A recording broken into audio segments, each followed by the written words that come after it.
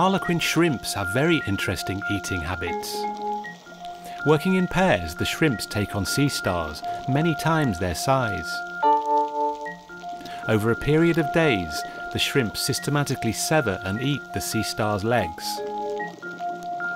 They must be decisive, however, because the sea star will reattach its legs given a chance. The sea star can also regenerate its legs, so the shrimps leave the central disc that contains its vital organs so that they have a chance to feed on the same individual again in the future. The shrimp feed exclusively on sea stars and cannot live without them. This is known as obligate predation. By turning the sea star over, it is less likely to escape, and the shrimps have access to its soft underside. For such a small creature, the shrimps have remarkable strength. The larger peacock mantis shrimp does things in a different way. Two of its claws have evolved into red and white clubs that the shrimp uses to smash or stun prey. These formidable weapons are effectively spring-loaded.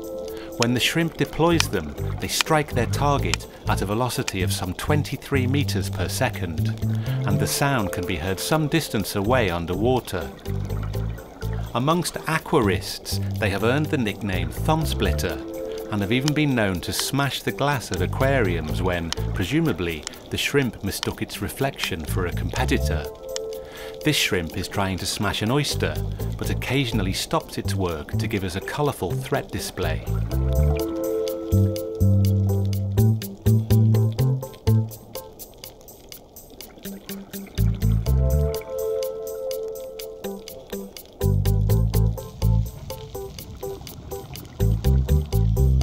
Partnerships are a very important aspect of the reef ecosystem.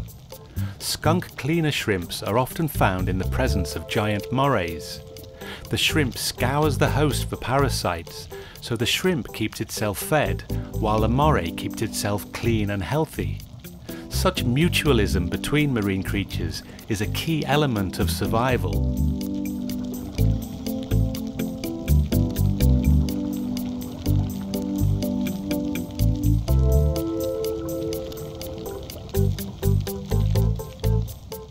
Given the opportunity, the shrimps will even clean a diver's teeth.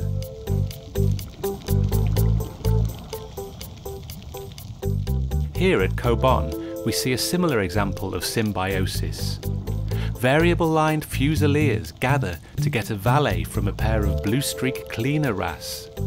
The bold, longitudinal stripes of the cleaner wrasse enable fishes to easily recognize it as their friend.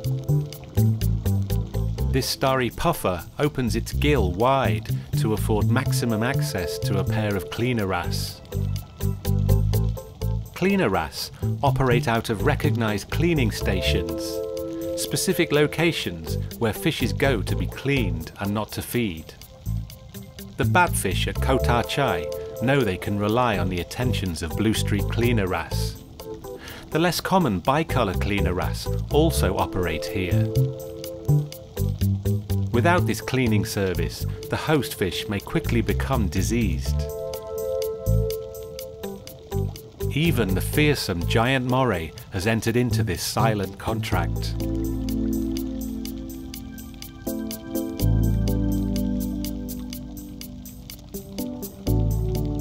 However, the cleaner's attentions are not always welcome. This honeycomb moray seems particularly irritated by the presence of a cleaner shrimp.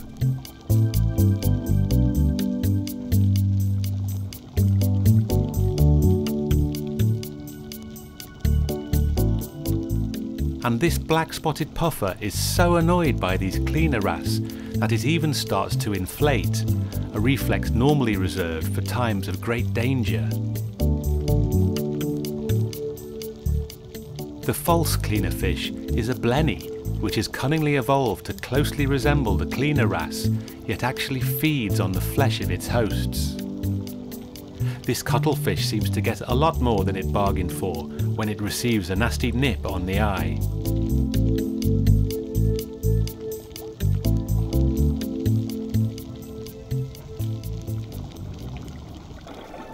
Large fishes, such as this zebra shark, often find themselves with company in the form of a shark sucker.